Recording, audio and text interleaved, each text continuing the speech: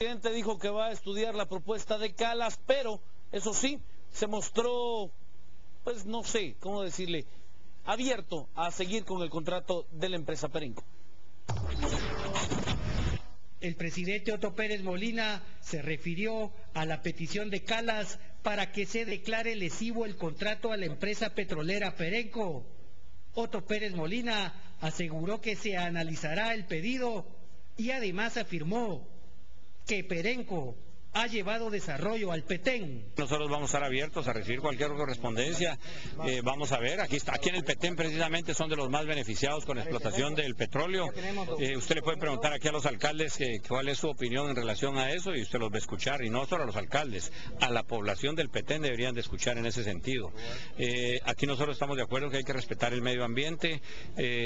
todos estos proyectos deben de ser amigables con el medio ambiente. Tenemos una responsabilidad con las futuras generaciones pero también eh, tenemos la necesidad de explotar los recursos naturales, los pocos recursos naturales que hoy se están explotando en el país y que, bueno, hoy Perenco apenas, la producción apenas está llegando a 10 mil barriles diarios. Así que voy a ver cuál es la carta que él me va a mandar, cuáles son sus argumentos y por supuesto vamos a atender la correspondencia. Al consultarle al alcalde de Petén, este aseguró que se necesita del fondo de petróleo para que la comunidad siga desarrollándose y además afirmó que para que el desarrollo sea sostenible no basta lo que el gobierno les da. Pues nosotros como alcalde no podemos trabajar si no tenemos petróleo.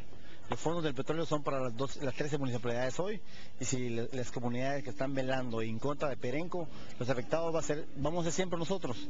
Yo como alcalde apoyo al señor presidente para que explotemos lo poco que nos queda del petróleo. Yo estoy de acuerdo y apoyo a él en su decisión que apoyemos a la Perenco porque si no, no tenemos ese fondo, créame como alcalde no podemos trabajar. Lo que viene de Guatemala son 3, 4 millones para un año. ¿Qué podemos hacer de obras con eso? Entonces creemos y apoyo señor presidente para que siga la iniciativa de que, apoyemos a la Perenco y invito a las comunidades para que no se pongan en contra del gobierno porque los afectados son ellos, porque si no apoyamos las carteras van a quedar destruidas en poco tiempo.